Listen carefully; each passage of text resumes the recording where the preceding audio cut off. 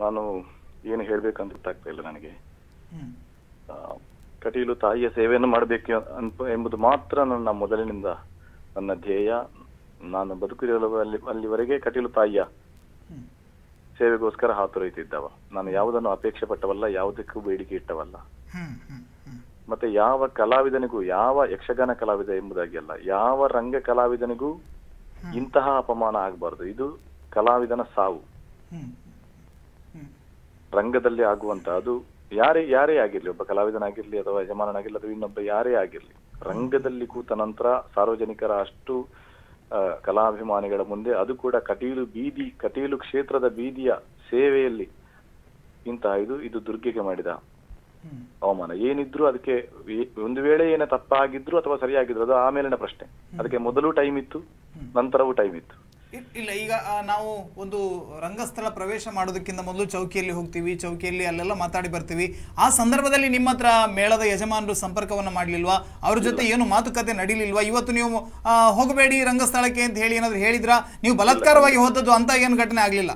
ಇಲ್ಲ ಖಂಡಿತವಾಗಿಯೂ ಇಲ್ಲ. ನನಗೆ ಯಾವ ಮುನ್ಸೂಚನೆ ಇಲ್ಲ. ನಾನು ನಮ್ಮ ಮೇಳದ ಪ್ರಧಾನ ಭಾಗವತ ಅಂದ್ರೆ ಕಳೆದ ಸಲದ ಪ್ರಧಾನ ಭಾಗವತರು ಬುಟ್ಟಿಗೆರೆ ಪುರುಷೋತ್ತಮ ಪೂಂಜರ ಕೈಯಿಂದ ಜಾಗಟೆ ಅವರ ಕೈಯಿಂದಲೇ ಜಾಗಟೆ ತಗೊಂಡು ಹೋಗಿದ್ದೇನೆ. ಯಾವ ಮುನ್ಸೂಚನೆ ನನಗಿಲ್ಲ. ಅಲ್ಲ ಈ ಬಾರಿ ಒಂದು ರೀತಿಯಲ್ಲಿ ರೋಹಿಣಿ ಸಿಂಧೂರಿ ಅವರ ಆದೇಶ ಆದ ಮೇಲೆ ಬಹುಶಃ ಒಂದು ರೀತಿಯಲ್ಲಿ ಅವರ ಅವರು ಅವರ ನಡುವೆ ಕೂಡ ಮನಸ್ತಾಪ ಇತ್ತು ಅವರಿಗೂ ಕೂಡ ಅಸಮಾಧಾನ ಇತ್ತು. ತಾವು ಕೂಡ ಒಂದು ರೀತಿಯಲ್ಲಿ ಆ ಕಲಾವಿದರು ಯಾರು ಇವತ್ತು ಬಂಡಾಯ ಅಂತ ಹೇಳಿ ಹೊರಗಡೆ ಹೋಗಿದ್ದಾರೆ ಅವ್ರ ಜೊತೆ ನೀವು ಕೂಡ ಒಂದು ಸ್ವಲ್ಪ ಅವರ ಬೆಂಬಲಕ್ಕಿದ್ದೀರಿ ಅನ್ನುವಂಥ ಅಸಮಾಧಾನ ಅವರಿಗೂ ಇತ್ತು. ಈ ಹಿನ್ನೆಲೆಯಲ್ಲಿ ಒಂದು ಸಭೆಯನ್ನು ಕರೆದಿದ್ರು ಅದಕ್ಕೆ ತಾವು ಗೈರು ಹಾಜರಾಗಿದ್ದೀರಿ ಅನ್ನೋ ಮಾಹಿತಿ ಇದೆ. ಅದು ಹೌದಾ ಸರ್? ಇಲ್ಲ ಶುದ್ಧ ಸುಳ್ಳು ಶುದ್ಧ ಸುಳ್ಳಿದು ನನ್ನನ್ನು ಯಾವ ಸಭೆಗೆ ಯಾರೂ ಕರೀಲಿಲ್ಲ. ಮತ್ತೆ ಪ್ರಧಾನ ಭಾಗವತ ಸ್ಥಾನದಿಂದ ನಾನು ಕಳೆದ ವರ್ಷವೇ, ಆ, ಅವರ ಎಲ್ಲ ಅವರ ಇಷ್ಟು ವರ್ಷದಿಂದ ಆಡಳಿತ ಮಂಡಳಿ ಹೇಳಿದ ಕಂಡೀಷನ್ಗೆ ನಾನು ಒಪ್ಪಿ ಹೋದವ.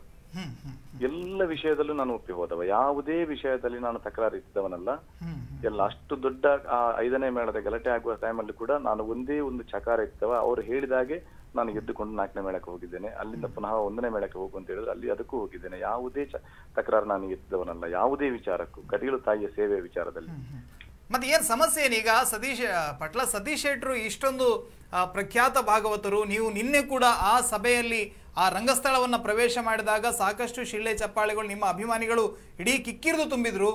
ಆ ನಂತರ ಕೂಡ ಇಷ್ಟೊಂದು ಪ್ರಸಿದ್ಧ ಭಾಗವತನನ್ನ ಇಷ್ಟೊಂದು ಕೆಟ್ಟ ರೀತಿಯಲ್ಲಿ ಹಿನಾಯವಾಗಿ ನಡೆಸ್ಕೊಳ್ತಾರೆ ಅಂತ ಧೈರ್ಯವನ್ನು ಅವರು ತೋರಿಸ್ತಾರೆ ಅಂತ ಆದರೆ ಅದಕ್ಕೊಂದು ಬಹಳ ಬಲವಾದ ಕಾರಣ ಇರಬೇಕು ಅಂತ ನಮ್ಗೆ ಅನಿಸ್ತಾ ಇದೆ. ಆ ಕಾರಣ ಏನು ಅಂತ?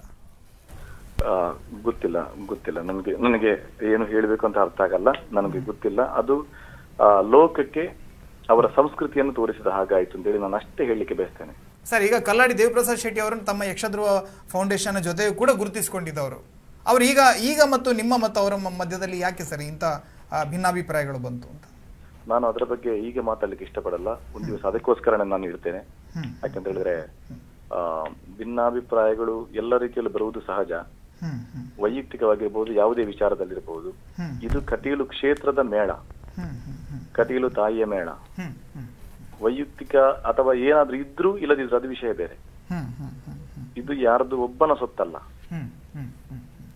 ಅವ್ರು ಹೇಳ್ತಾರೆ ನಮ್ಮ ಅನುವಂಶಿಕವಾಗಿ ನಮ್ಮ ತಂದೆಯ ಕಾಲದಿಂದ ಕೂಡ ಇದ್ದವ್ರು ನಾವು. ಹಾಗಾಗಿ ಮೇಳದಲ್ಲಿ ನಾವು ಮೇಳದ ಯಜಮಾನರು ನಾವಿದ್ದೀವಿ. ನಾವು ಹೇಳಿದ ಕಲಾವಿದರು ಕೇಳಬೇಕು ಅನ್ನೋದು ಅವರ ವಾದ ಇದೆ. ಅಲ್ಲ ಸರಿ ಕೇಳಲೇ ಕೇಳಲೇಬೇಕು. ನಾನು ಯಾವುದನ್ನು ಕೇಳಲಿಲ್ಲ ಎಂಬುದನ್ನು ಹೇಳ್ಬಹುದಲ್ಲ ಹಿಂದೊಮ್ಮೆ ರಾಜೀನಾಮೆ ಕೊಟ್ಟು ಅಂದ್ರೆ ಕಟೀಲು ತಾಯಿಯ ಸೇವೆ. ಅಲ್ಲಿ ಯಾವುದೇ ಅಪಚಾರ ಆಗಬಾರದು ತಾಯಿಯ ಸೇವೆಗೆ ಯಾವುದೇ ದೋಷಗಳಾಗಬಾರದು ಎಂಬುದಾಗಿ ನಾನು ಅಲ್ಲಿ ತಾಯಿಗೆ ಅಡ್ಡ ಬಿದ್ದು ನನ್ನ ಅಭಿಮಾನಿಗಳನ್ನು ಸಂತೈಸಿ ಏನೂ ಅಲ್ಲಿ ತೊಂದರೆ ಆಗಬಾರದು ಕಟೀಲು ತಾಯಿಯ ಸೇವೆಗೆ ತೊಂದರೆ ಆಗಬಾರದು ಎಂಬ ಮೌನವಾಗಿ ಅಲ್ಲಿಂದ ಹೊರಟು ಬಂದಿದ್ದೇನೆ. ಏನೂ ತೊಂದರೆ ಆಗದ ಹಾಗೆ.